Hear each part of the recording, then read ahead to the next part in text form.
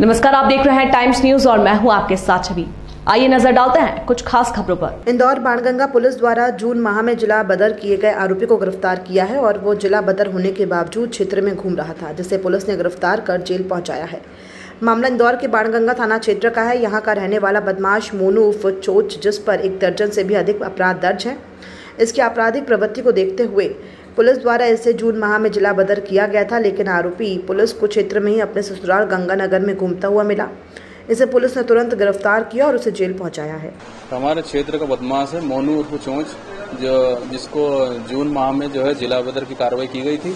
उसके बावजूद भी आरोपी जो है बाणंगा क्षेत्र में जो है गंगानगर में अपने ससुराल में घूमता हुआ पकड़, जो है पाया गया, जिसको मुखबिर सूचना के आधार पर हमारी टीम के द्वारा पकड़ा गया और गिरफ़्तार किया गया। टाइम न्यूज़ देखिए अब आपके मोबाइल और स्मार्ट टीवी पर। लाइव प्ले स्टोर से डाउनलोड करें।